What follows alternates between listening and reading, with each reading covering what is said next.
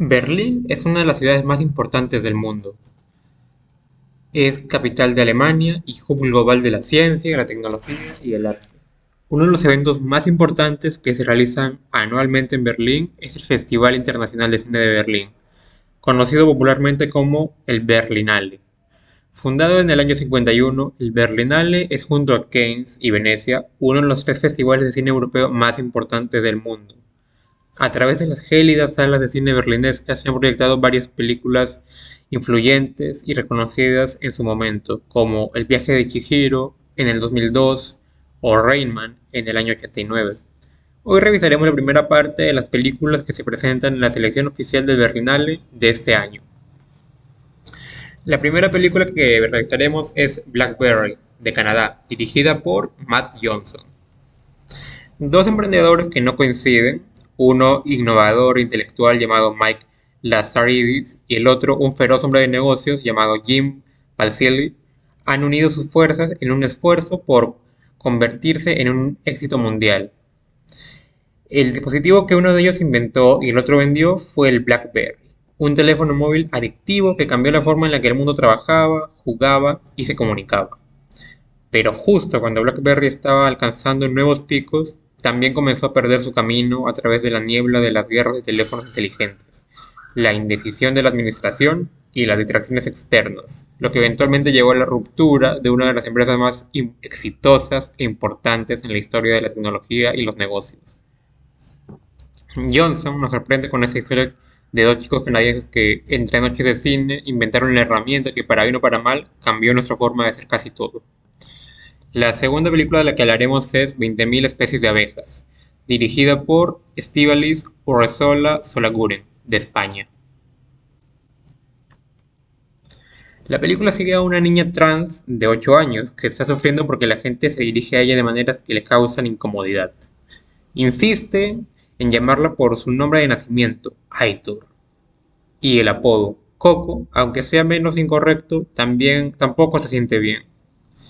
Durante un verano en el País Vasco, la niña confía estas preocupaciones a familiares y amigos, especialmente a su madre. Pero, ¿cómo puede una madre manejar la búsqueda de identidad de su hijo cuando ella misma todavía está lidiando con su propio legado paterno ambivalente? Esta, esta ópera prima de la directora vasca Estivalis Urresola Solaguren es un drama soleado un trabajo maravillosamente sensible, protagonizado por interpretaciones desgarradoras de la debutante Sofía Otero como la niña en busca de un hombre y Patricia López Arnaiz como su madre en conflicto pero amorosa. Siguiendo con la línea de películas tenemos a The Shadowless Tower de China, dirigida por Shang Liu. Gu Weston es un crítico gastronómico divorciado que tiene una hija a la que ha arreglado para que sea criada por su hermano. Debido a un incidente que destrozó a la familia, no ha tenido ningún contacto con su padre desde que era niño. Un día se entera de que su padre vive solo en Beidaier, un pueblo costero a 300 kilómetros al noreste de Beijing. Aún guardando un gran rencor, Wang Tong es reacia a visitar a su padre deshonrado. Mientras tanto, comienza una relación con una colega más, más joven, la fotógrafa Ouyang Wanhui, que también es de Beidaier. A menudo se encuentra en el área cercana a la Pagoda Blanca y visitan juntos los restaurantes locales. Weston entonces comienza a reconsiderar sus roles en la vida como padre, hijo y amante. En esa película romántica y encantadora, Shang-Lu explora la posibilidad de recuperar todos los fragmentos emocionales y espirituales que se pierden en el transcurso de nuestras vidas para evitar que caigan en el olvido. Ahora pasamos con la cuarta de la lista, desde Alemania, Till the End of the Night, dirigida por Christoph Hochhausler. Robert viste una chaqueta de cuero y tiene el pelo bastante largo. De ninguna manera es el policía promedio, al menos no el tipo que se encuentra en la mayoría de películas alemanas. Como investigador encubierto, tiene la tarea de ganarse la confianza de un criminal, Víctor, fingiendo una relación con Lenny, que ha sido puesta en libertad condicional para seguirle el juego. Se las arregla para hacer contacto con Víctor en una clase de baile. Robert y Lenny, el gay y ella trans. Hacen una gran pareja y pronto atrapan al, criminal. O es él quien los ha entrampado. Y en última instancia, ¿no hay más sentimientos en juego en ese supuesto amorío falso? La película es un ingenioso retrato del intelecto emocional que es tan ingenioso como conmovedor. Además, este film es un viaje a lo largo de la tira de Mobius del cine de autor y de género característico del director. Continuando con el video tenemos a Disco Boy de Italia, dirigido por Giacomo Abruzzese. Alexei es un joven, es un joven bielorruso que huye de su pasado, de un pasado que debe enterrar. Entrando en una especie de pacto fáustico, se convierte en miembro de la Legión extranjera francesa, a cambio de la promesa de, la ciudadanía. Lejos de él, en la delta del Níger, Yomo es un activista revolucionario comprometido en una lucha armada para defender a su comunidad. Alexei es un soldado y Yomo un guerrillero. Como resultado de una guerra sin sentido más, sus destinos se entrelazarán. Giacomo Bruzzese exhibe un notable sentido del pensamiento innovador y la inventiva al, explorar preguntas como ¿qué es la otra edad? y ¿cómo la absorbes? en un trabajo visualmente impactante que está lleno de poesía y tensión. En esta misma línea llega desde Francia y Suiza The Pro, dirigido por Philip Garrel. Tres hermanos forman la última generación de una familia de titiriteros dirigida con pasión por su padre. Son una especie de magos, pero apenas pueden llegar a fin de mes, trabajando principalmente por amor a su oficio. Su abuela también contribuye, no solo como costurera, sino también como depositaria de recuerdos y sabiduría. Un evento trágico pondrá a prueba el deseo de cada hermano continuar con el legado familiar.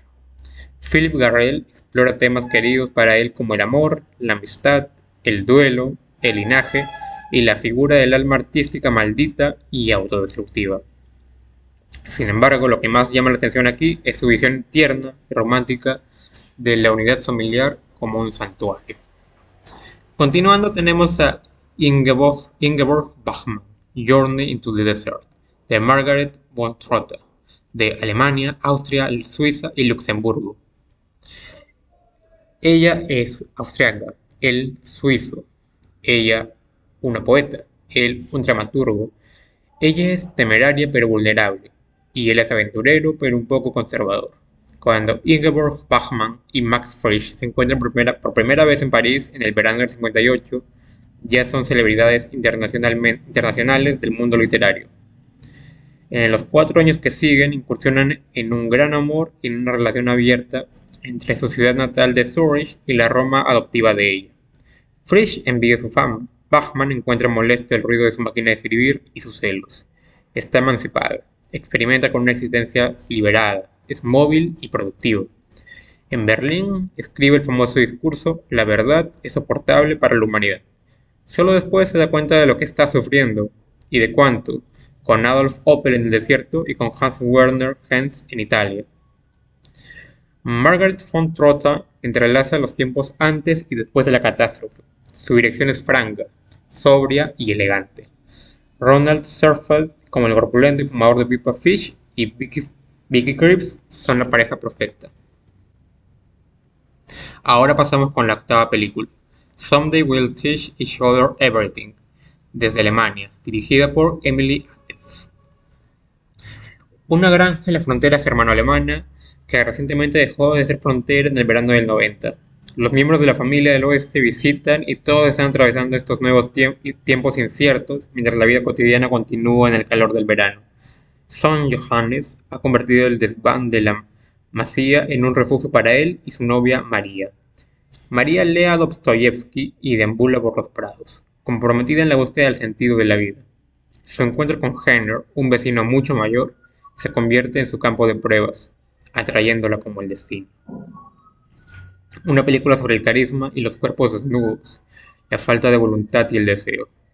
Una obra sin adulterar, franca y despreocupada, que ofrece una dosis inesperada de romanticismo alemán. La siguiente película en la lista es Limbo, de Australia, dirigido por Ivan Sen.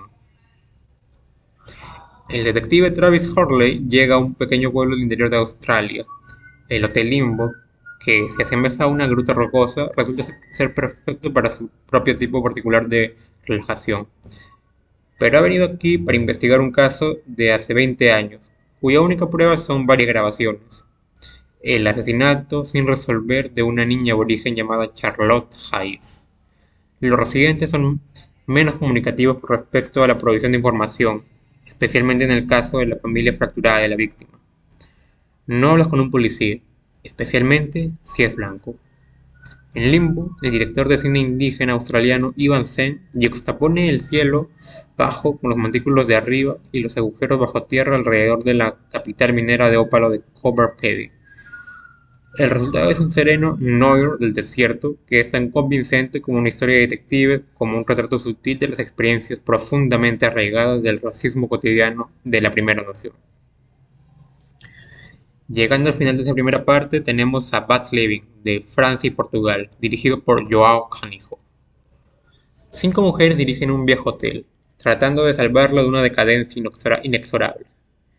Sobre ellas pesa un conflicto de larga data, tal vez irreparable. Son madres incapaces de amar a sus hijas, que a su vez no pueden ser madres. Cuando la joven Salomé llega al hotel, viejas heridas se reabren. Atrapada, atrapada entre el resentimiento y la búsqueda de una salida, su madre, Piedad, toma una decisión drástica. ¿Qué somos y en qué nos convertimos cuando el pasado acecha y el presente parece no ofrecer salida? Canijo no da una respuesta única, sino que multiplica los puntos de vista, creando una estructura que tiene en cuenta las distintas interpretaciones del tiempo y el espacio y de los seres humanos que la atraviesan. Y bueno, esa sería la primera parte de las películas que forman parte de la selección oficial del Festival de Cine de Berlín de este año. Más adelante les compartiremos la segunda parte de esta lista. No olviden suscribirse y seguir el canal. Gracias.